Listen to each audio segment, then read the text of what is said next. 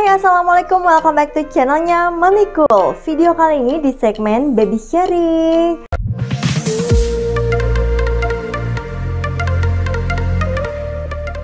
Baby sharing kali ini Mami Cool mau kasih tahu ke mam semua hal apa aja yang sudah bisa dilakukan anak usia di atas satu tahun atau di bawah tiga tahun biasanya anak-anak usia menjelang 3 tahun itu sudah sangat pintar bisa disuruh-suruh ya. Sudah mulai bisa ngebantu orang tuanya sedikit-sedikit ternyata mams dari bayi menuju ke masa anak-anak itu sudah bisa melakukan apa aja. Hal ini untuk melatih saraf motoriknya juga kemampuan dia berkomunikasi dua arah kepada orang tua. Kalau misalnya dia disuruh kan berarti dia menanggapi sudah ngerti gitu ya omongan kita.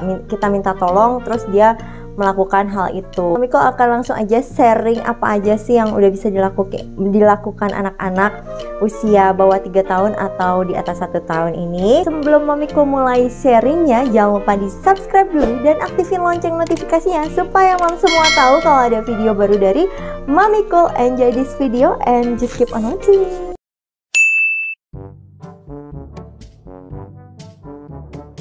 Biasanya anak sudah mulai bisa mencoba buang sampah sendiri itu sejak usia 2 tahunan ya mams.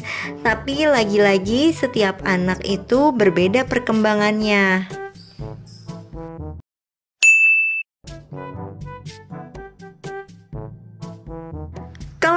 Kia biasanya bukan hanya ingin membuka makanan atau minumannya sendiri, tapi terkadang juga membantu membuka makanan atau minuman orang yang ada di dekatnya.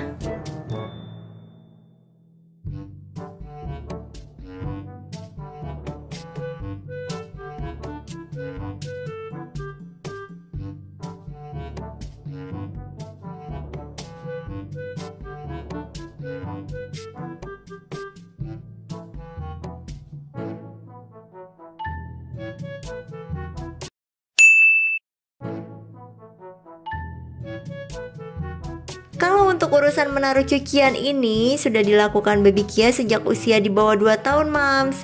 Mamiko selalu membiasakan setiap mau mandi untuk menaruh pakaian kotornya sendiri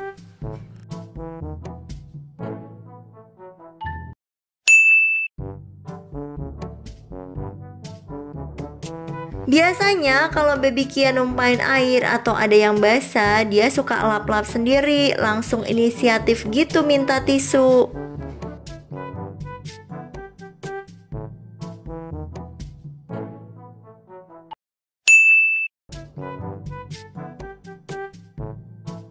Apa pun yang bekas dimainin sama baby Kia itu langsung dirapikan sendiri, walaupun bukan mainan miliknya.